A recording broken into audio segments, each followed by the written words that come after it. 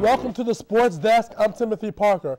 Temple football visited a very good Navy team, and for three quarters, the Owls were dominating and had the midshipmen in retreat.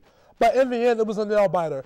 We pick it up in the third quarter. It's 7 all until Adam DiMichele hits Bruce Francis for the 49 yard touchdown. Still in the third, it's the exact same play. Another 49 yard touchdown. Hey, Navy, where's the defense?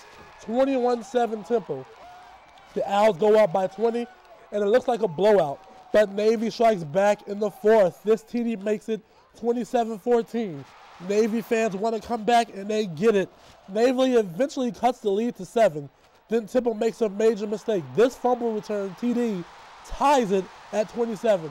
We go to overtime. Temple goes for goes for it on fourth and goal, but oh no! Steve Maneri drops the ball, and Navy gets the ball and scores. The Owls blow a 20-point lead.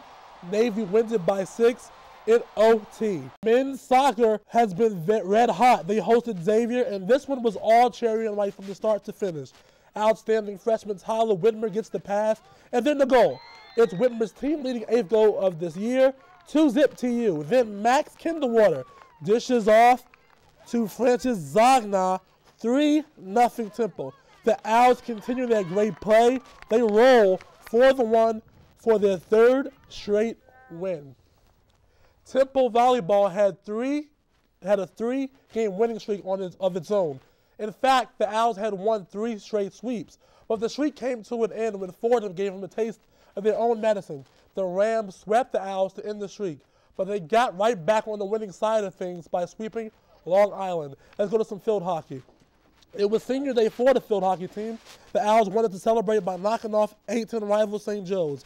It's only fitting that senior Liz Watto gets the first goal of the game off the deflection, 1 0 Owls. Then Mandy Roof blows one past St. Joe's goalie Kelly Swanick, 2 0 Temple. They hold on for the 2 1 win on senior day.